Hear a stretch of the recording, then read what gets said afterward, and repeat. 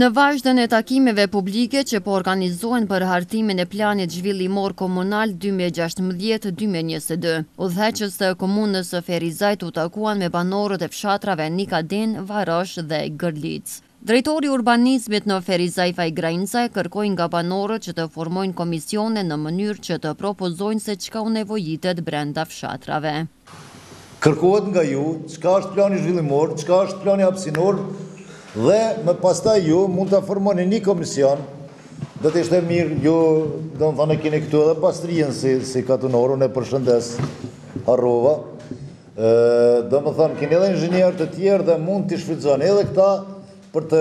dhënë propozime dhe ide sa më shumë. Ajo çka është më e rëndësishme, në rastin konkret, për fshatin Varosh dhe për gjitha fshatrat tjera, është se me këtë plan, apo me këtë ligj, përfundimisht jemi të obliguar që t'i përfshijmë në planet hapsinore, gjegjësisht në planet urbane të gjitha fshatrat e komunës sonë.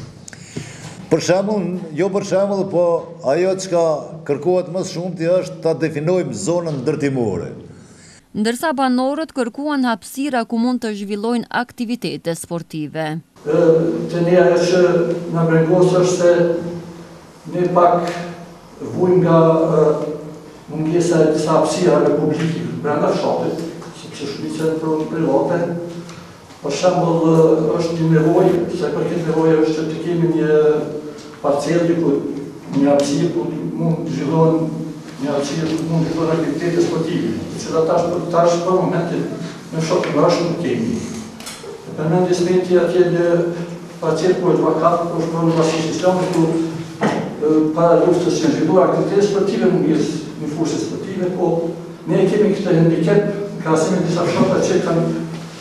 Plani zhvillimor komunal është një plan shumëdimensional, por që kryesisht fokusohet në zhvillimin ekonomik, anën financiare dhe planifikimin hapësinor, që nënkupton zonat urbane, rurale, vija ndërtimore në zonën bujqësore, në zonën e gjelbër e zona të tjera.